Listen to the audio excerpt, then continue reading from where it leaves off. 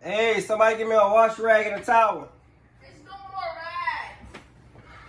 What you mean no more rag? All these rags I done bought. What you mean? I don't know.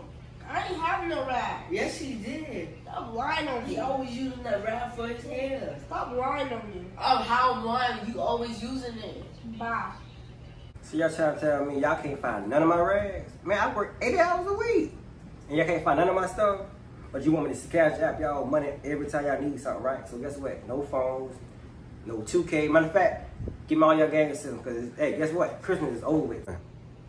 Man, it's always you. We always getting our stuff taken because of you.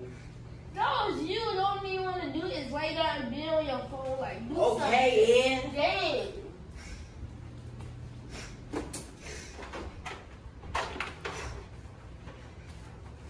One of your rags right here.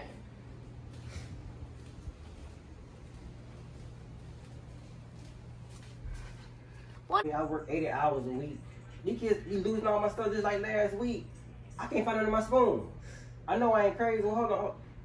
What a respect. You need something on the phone? Boy, get out my face. Get out my face. Man, listen. I work 80 hours. Man, I'm busting my behind on these people's jobs to make sure they have. I can't even wash my behind with a rag. I told them I ain't going no more Christmas. That's what I said. It's gonna be no more Christmas this year. I'm tired, bro. They want V-Bucks. They want this and that, though. But I can't get a rag. I'm tired of paying six ninety nine for a pack of rags. I'm tired of paying for that stuff, man. But yeah, let me get back to these kids, man. I just had to vent real quick. Cause you know I'm drawn out. That's all. Alright, man.